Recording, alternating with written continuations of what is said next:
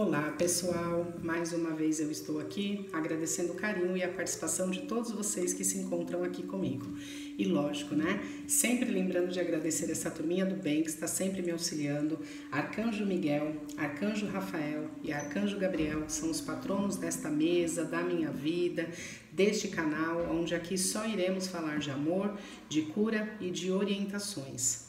Bom, também devo agradecer aos antigos inscritos e aos novos inscritos. E para você que está passando por aqui, ressoando com essa energia e ficando, né? Não, não fique aqui clandestino. Eu te convido a se inscrever, ativar aí o sininho das notificações, assim todas as vezes que eu subir um vídeo aqui para esse canal, o YouTube notificará você e você corre e vem aqui assistir. Toda semana tem vídeos novos aqui no canal, ok? Bom, hoje eu vou fazer uma leitura completamente intuitiva, né? Com as canalizações aqui que eu recebi através da meditação. Eu já consagrei todos os decks que nós vamos utilizar e vamos ver o que, que a espiritualidade vai trazer para todos nós, ok? Bom, vou iniciar aqui com o tarô de Osho solicitando uma energia do tarô de Osho para a abertura desta leitura de forma clara e objetiva e espiritualidade. Traga para nós uma energia para iniciar esta leitura de forma clara e objetiva e espiritualidade. Fale e mostre. Fale e mostre espiritualidade. Vamos lá, de forma clara e objetiva qual a energia que vai abrir a nossa leitura e espiritualidade.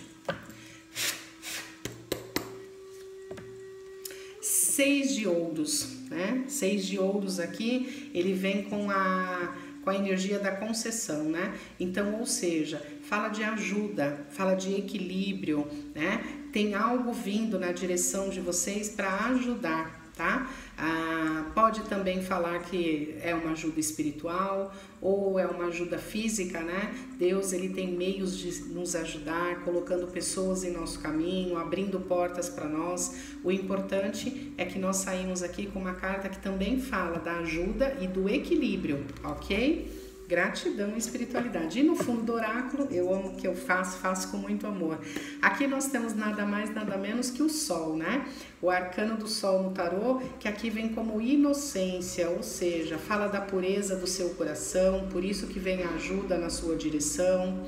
Aqui também pode representar é, crianças mesmo, né? Trazendo para vocês aí respostas, soluções. É, as crianças, né? O reino dos céus pertence às crianças, né? Mas aqui fala de iluminação. O sol fala de expansão, de conhecimento, de clareza, de verdade, de um novo olhar, uma nova consciência, tá? O sol ele joga luz em tudo, né? Ele ilumina tudo que está escuro, ele traz à tona tudo aquilo que precisa estar aí de frente conosco para que a gente possa confrontar, trabalhar, equilibrar, ok? Que lindo! Gratidão e espiritualidade. Já começamos aqui com uma ajuda dos céus, né? Que é a carta do compromisso, da concessão, da ajuda, né? Que é o seis de ouros e, né? A inocência, que é o arcano do sol, né? O arcano maior, que fala de trazer aí luz para nossa consciência, verdade, esclarecimento. O sol também fala de abundância de saúde, tá, pessoal? Vitalidade, força. Bom, mas vamos lá com o arquétipo dos animais, né? o espírito dos animais, espiritualidade de forma clara, objetiva, através das minhas intuições, o que será revelado aqui, espiritualidade. Vamos lá? Aqui nós temos a Fênix, Fênix, uma energia de renascimento, né? Uma energia de força. Aqui nós temos o ovo cósmico, que lindo! É uma das cartas mais bonitas também que tem aqui nesse tarô. Que lindo! Bom, que mais? Nós temos o elefante, outro arcano aqui que lembra muito a energia de Ganesha, tá? Que lembra a energia aí de prosperidade, que lembra a energia né, de sabedoria, de conhecimento. Spider, a carta aqui, ó, Spider, né, que representa a aranha. O que mais? Espiritualidade. O Rochinol. Rochinol. o que mais? Espiritualidade, o dragão. Que lindo, né? Já tem aqui muitas informações. Mas vamos lá. Clarifica para mim, espiritualidade, a fênix. Clarifica a fênix para mim, espiritualidade, por favor. Clarifica a fênix. Nós temos aqui a minhoca. Clarifica para mim, espiritualidade, o ovo cósmico. Clarifica para mim o ovo cósmico, espiritualidade, de forma clara e objetiva. O ovo cósmico. Nós temos aqui o tubarão, clarificando o ovo cósmico. Bom, agora clarifica para mim o elefante. Clarifica o elefante espiritualidade. Clarifica o elefante.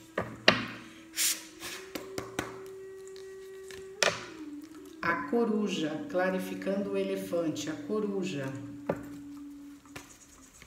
Bom. Clarifica spider, espiritualidade. Clarifica a aranha de forma clara e objetiva Clarifica a aranha.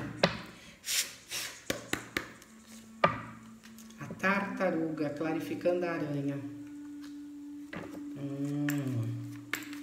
Agora, clarifica o rouxinol, espiritualidade, de forma clara e objetiva. Clarifica o rouxinol. Clarificando o rouxinol. Vamos lá? Nós temos a zebra, clarificando o rouxinol. Gratidão, espiritualidade. Agora, clarifica o dragão, espiritualidade, de forma clara e objetiva. Clarifica o dragão. Clarificando o dragão. Vamos lá. Ah, o castor, beaver, né? O castor aqui clarificando o, o dragão. No fundo do, do oráculo aqui nós temos o morcego, serpente do mar, libélula. Uhum. Então, ó, no fundo do deck nós temos a, o morcego e no, na frente, né, nós temos a tarântula, ok? Então, a tarântula está aqui e embaixo nós temos o morcego, ok? Então, vamos lá, vou deixar aqui. O que, que eu tô vendo aqui, pessoal? Bom, é, vou começar aqui pelo, pelo dragão, né, e o castor. Ah, aqui eu sinto muito forte o olho do universo, né? O olho divino que tudo vê. O universo é, olhando, né? O universo prestando atenção ao que você vem fazendo. Não é à toa que veio aqui através de Osho a energia, né? Dos seis de ouros, que é a concessão, que é a ajuda, né? Que é, é uma mão voltada, é, estendida aí para te auxiliar. Então o universo ele está observando tudo que você vem fazendo, né? E o castor ele é ele é conhecido aqui como a energia do trabalho, tá? Então, ou seja, você tem um trabalho espiritual, isso está muito claro, trabalhando com a espiritualidade. Necessariamente você não precisa estar tá, tá abrindo um tarô, ou tá trabalhando aí numa casa de axé, ou tendo que tra trabalhar a espiritualidade é no dia a dia, tá? Mas o que aqui tá mostrando é que o universo está olhando o seu trabalho, tá? O que você vem fazendo e as práticas espirituais que você tem, porque, né, é através do seu dia a dia que você vai praticando a sua espiritualidade. Então, só que aqui deixa muito claro que é um trabalho. Então, de repente, você está ali, né, numa loja, você é vendedora, mas você atende com amor, você atende com respeito, você enxerga, né, no outro a, a mesma centelha que existe em você, existe uma empatia. Ah, você é uma cozinheira, um cozinheiro, você também emprega amor, você também faz como se você estivesse fazendo para Deus e o universo vem enxergando isso, tá? Gratidão e espiritualidade. Por quê? Porque aqui ó, nós temos a, a fênix, né, com a minhoca. A fênix, ela fala de um ciclo que você venceu, um ciclo, né, que não foi nada fácil, porque a minhoca, você vê, ela tá enrolada, né? Então a minhoca, ela fala, né, de muitas das vezes, a, a minhoca ela não tem os olhos, né? Ela não tem a visão. Ela se se se percebe aí ah, através da, do sensor, digamos assim, né?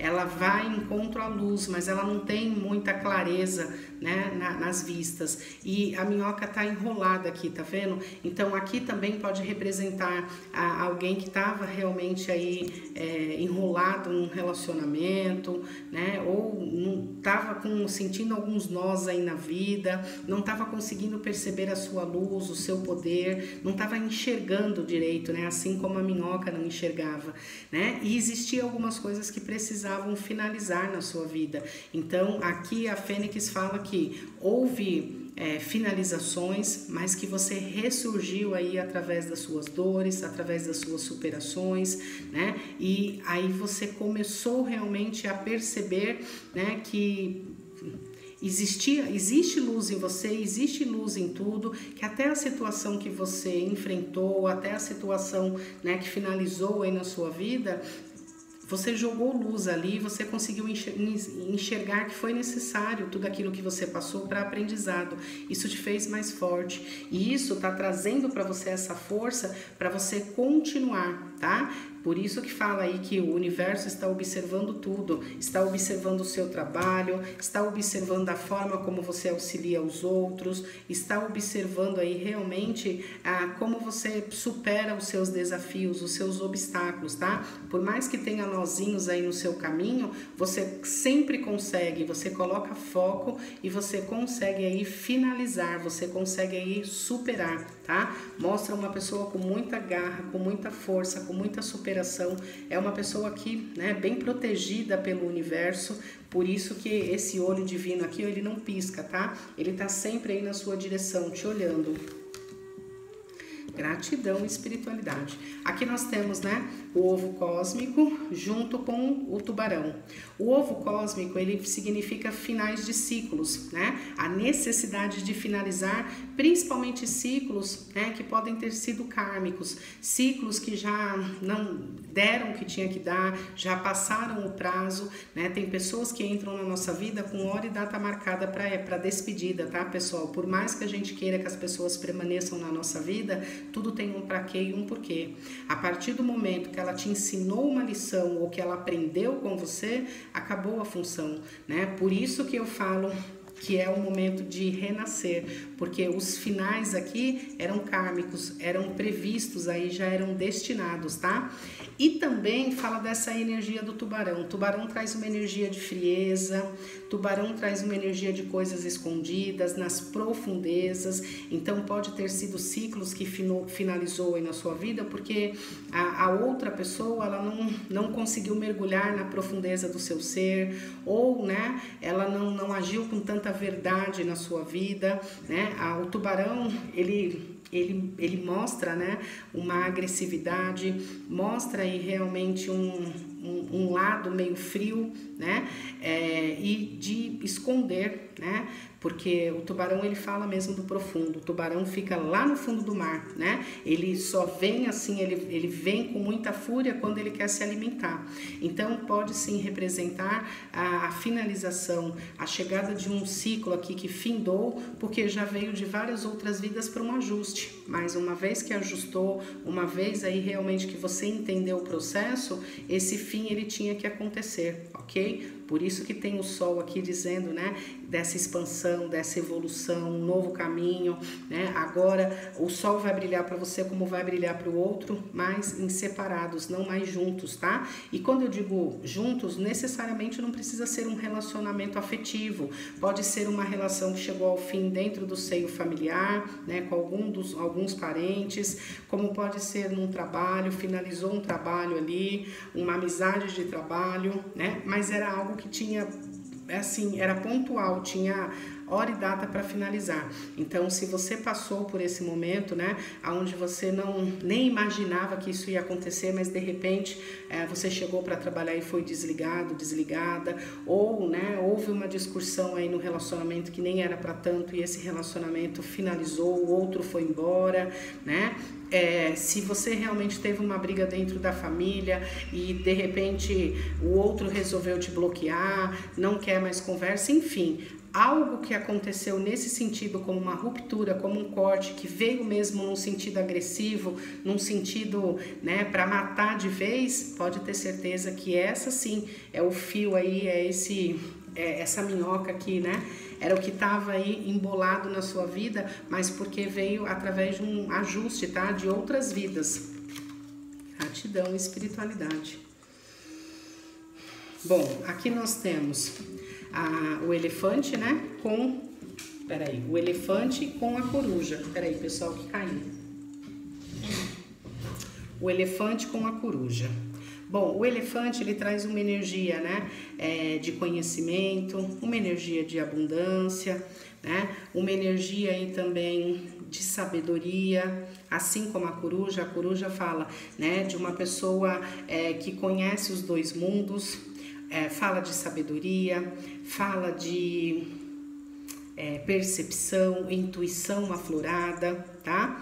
É, você, de certa forma, já estava intuindo que existia ou que fosse através de sonhos, ou realmente o seu campo de energia já estava mostrando que algo ali estava prestes a acontecer, ou de repente você fez ali ah, uma oração, uma prece, se conectou com seus mentores, pediu aí ah, uma solução para algo que você estava percebendo, que você estava sentindo e a ajuda veio no seu caminho, tá? Ah, aqui o elefante ele também fala dessa energia de respeito, de confiança.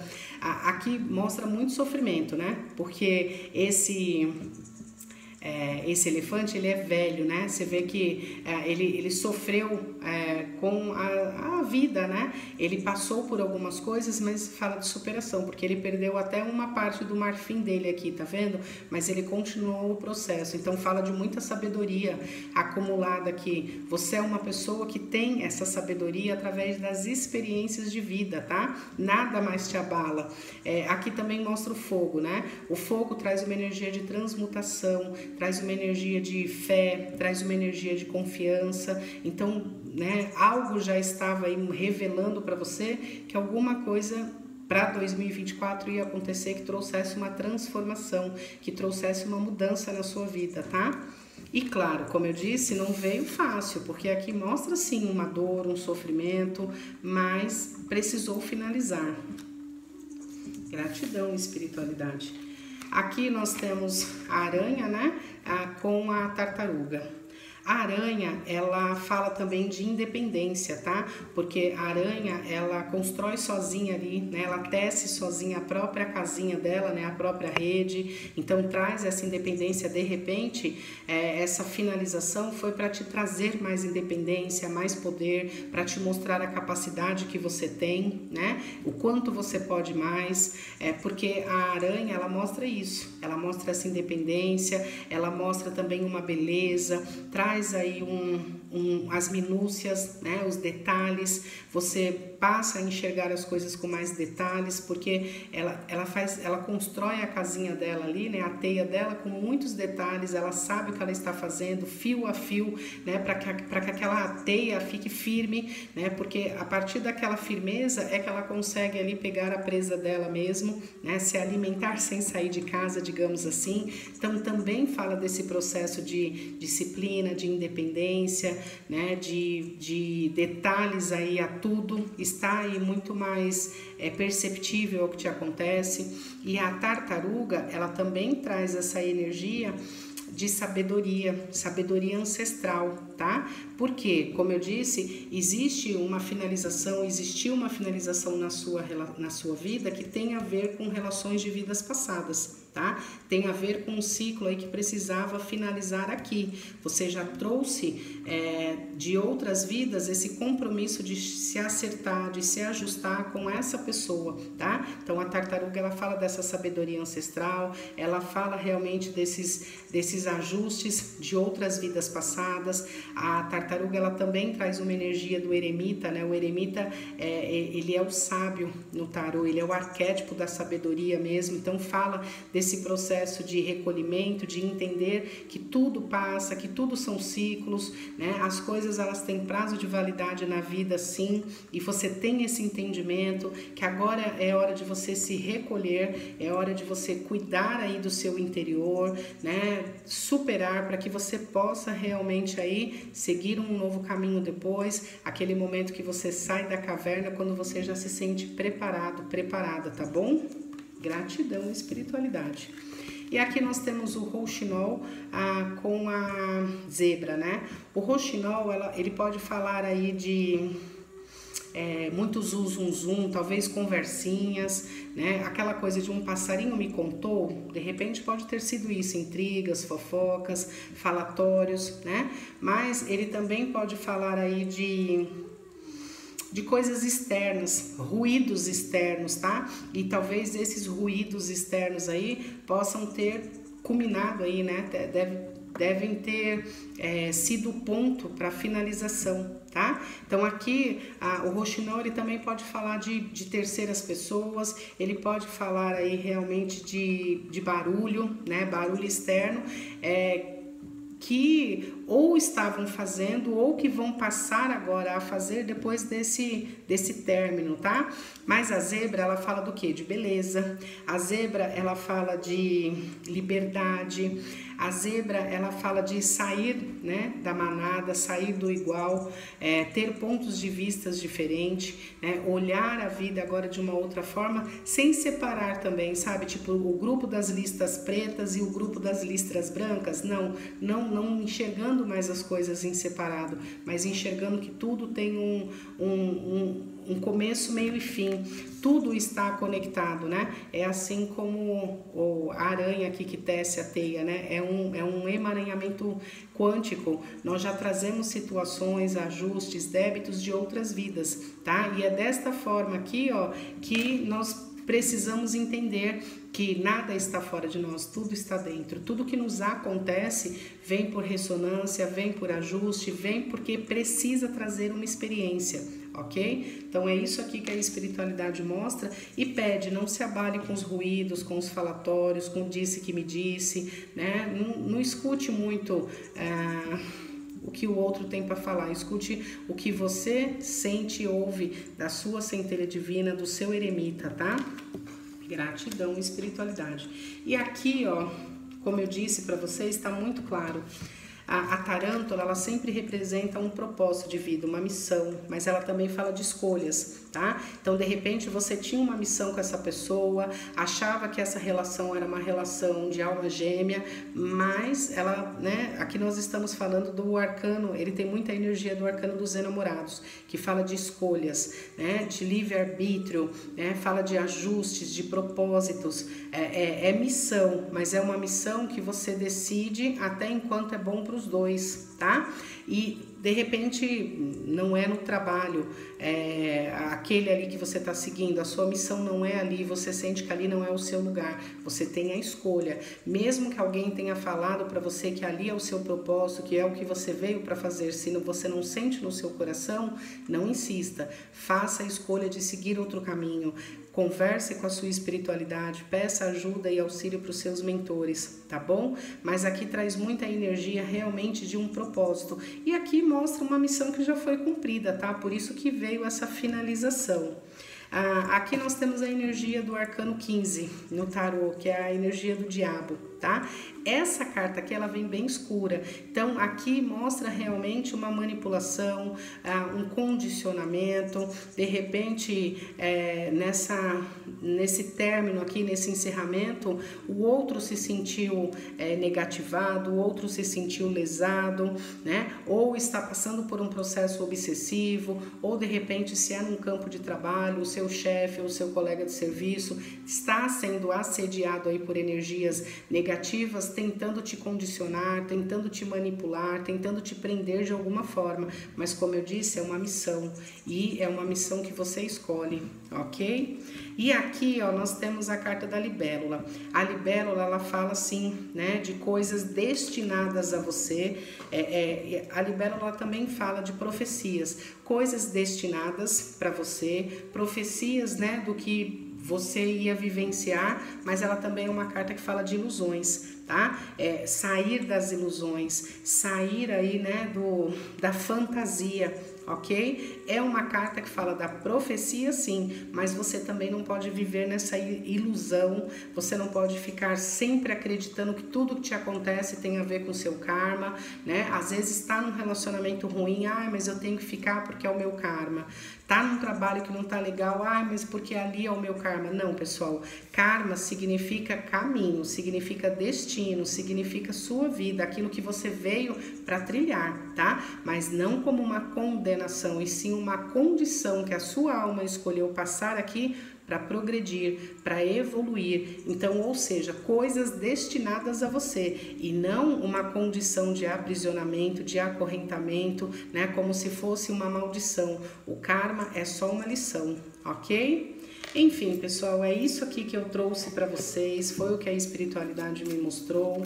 Bom, eu vou finalizar essa leitura. Se fez sentido, se ressoou com você, se você está nesse momento ou pressente que esse momento está perto de chegar, Deixe aqui nos comentários. Não esqueça que nós temos aqui no Oxo o Sol. Então o Sol ele traz, né, tudo para o lugar. Ele traz luz, não tenha medo. Fala realmente aí de ter esperança, manter essa esperança. E uma vez que a gente vê, não dá para desver, né, pessoal? Olha o que, que ficou embaixo aqui, ó, no fundo quando eu tirei o Sol. Nós temos aqui a não materialidade, que no arcano no, no tarô tradicional é o Papa.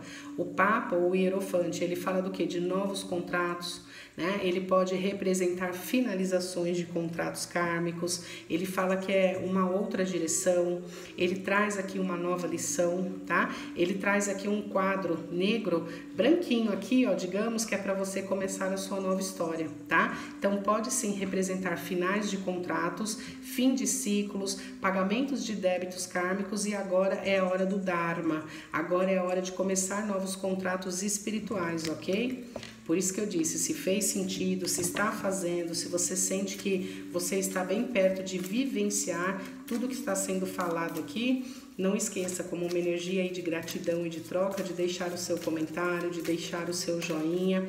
Se de repente não está falando com você, mas tudo que está falando aqui é para uma pessoa que sempre desabafa com você, um amigo, um filho, é, é algo assim que né, fez sentido total para você, mas que está falando com uma outra pessoa que é bem próxima de você, não esqueça aí de compartilhar esse vídeo, né? De repente chega em você para que você consiga mostrar para essa pessoa, para esse amigo, para esse filho, para um parente, para um amigo aí, e isso né, consiga trazer um pouco mais de clareza para essa pessoa, de força também, de coragem, né, para poder renascer, renascer das cinzas. E quando a gente fala renascer das cinzas é porque houve realmente aí um, um grande fogo, tá? E veio lambendo o fogo, vem para lamber tudo, né? Não sobrou nada, só sobrou as cinzas, mas é hora de se reconstruir a partir dela, dela, ok?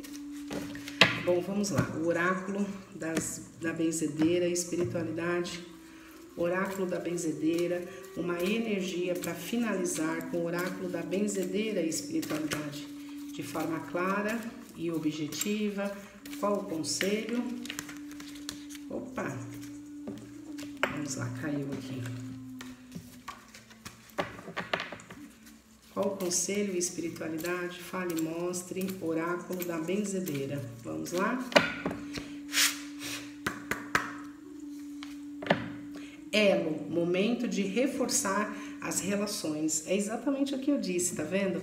Esse é um momento, de repente, essa leitura ela não é para você, mas você tem uma conexão muito forte, seja com um filho, com um amigo, e esse é o momento, né, de você dividir, é o momento de você reforçar essas relações, tá? Aqui vem falando muito claro aqui que é um momento também, né, se não, não tem a ver com o outro, não tá espelhado, é o seu momento, você tá passando por isso, é a hora de reforçar o elo aí com a sua espiritualidade, com seus amigos amigos espirituais, ok? Aqui nós temos o número 25, né, que somando aqui dá o número 7, e o número 7 no tarô, ele fala né, do arcano do carro, te levando para uma nova direção que vai te trazer sucesso, que vai te trazer bênção, que vai te trazer realização, te colocando aí no eixo, te colocando no caminho certo, tá? Então aqui fala hora de reforçar aí as relações, seja as suas relações com pessoas que você acha que são as que estão passando por esse momento, né? E é uma forma de você auxiliar, ou se é você reforçar com a sua espiritualidade, ok, pessoal? É, é importante, mais uma vez eu digo, aqui fala de finais de ciclos kármicos que já estavam com data e hora marcada. É, a minha mentora tem sempre uma frase que ela fala que dois errados não conseguem fazer o certo, né? Então nesse momento não dá para julgar, não dá para questionar, né? Cada um tem a sua parcela de culpa e de acerto dentro do relacionamento, seja em que área for da vida, né? Então cada um pega a sua malinha, né? Cada um assuma aí o que é seu e bola para frente, né? Porque se começar uma disputa, se começar um julgamento, você que está certo, eu que estou errado, acaba aí sem vocês perceberem que é exatamente o que a minha mentora fala: dois errados não conseguem fazer o certo. E aí vira aí uma guerra de egos e fica bem pior. Tá bom? Enfim, pessoal, espero ter auxiliado. Se fez sentido, se ressoou, deixe aqui o seu comentário, deixe aqui também o seu like. Eu vou ter o imenso prazer de, de auxiliar vocês. Um beijo de luz, namastê e muita, muita gratidão.